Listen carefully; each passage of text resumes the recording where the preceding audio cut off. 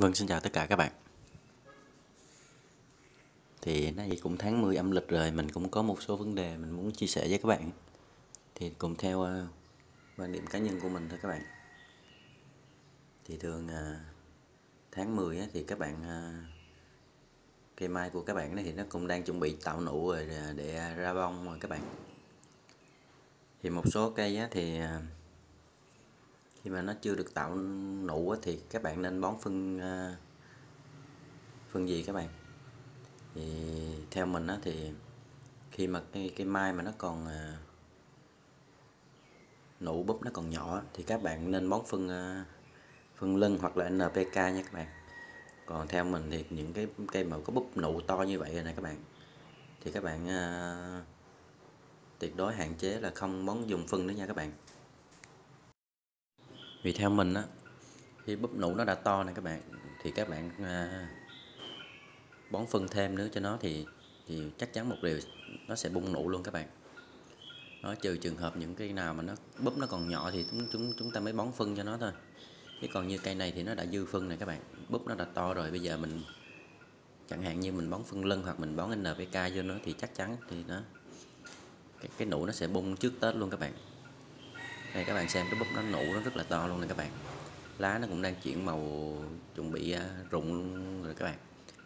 Thì trong thời trong giai đoạn này á, thì mình chỉ nên à, tưới nước à, điều độ cho nó thôi các bạn. Cũng đừng để cho nó khô quá nha. Khi mà nó khô cái lá nó xuống lá là nó cũng sẽ ra bông luôn. Thì cây này nó cũng có một số búp nó cũng đã bung rồi các bạn. Thì đây cũng là theo quan niệm cá nhân của mình thôi thì mọi người đều có mỗi cách chơi, cách chăm sóc cũng riêng.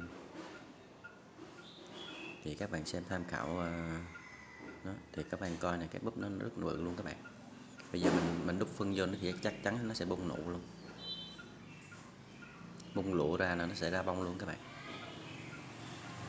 Đó. video mình quay thì nó cũng hơi ồn, các bạn xem thông cảm nha.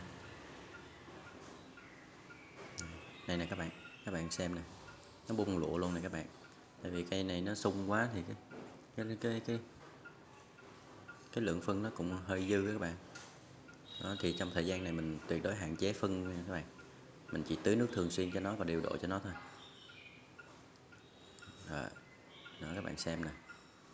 Nó nó bung nụ cũng khá nhiều các bạn. Nhưng mà không sao thì cây này mình vẫn trái tết được các bạn. Nó chỉ bung một vài cái thôi mình hạn chế phân lại thì vẫn ổn thôi các bạn. Đó. thì mình có vấn đề này thì mình cũng muốn chia sẻ với các bạn mới tập chơi thôi ha. Còn các bạn nào có kinh nghiệm hoặc là có gì hay thì cũng chia sẻ với mọi người luôn. Rồi, chắc mình cũng à, xin à, kết thúc video tại đây luôn ha. Rồi, xin chào và hẹn gặp lại các bạn.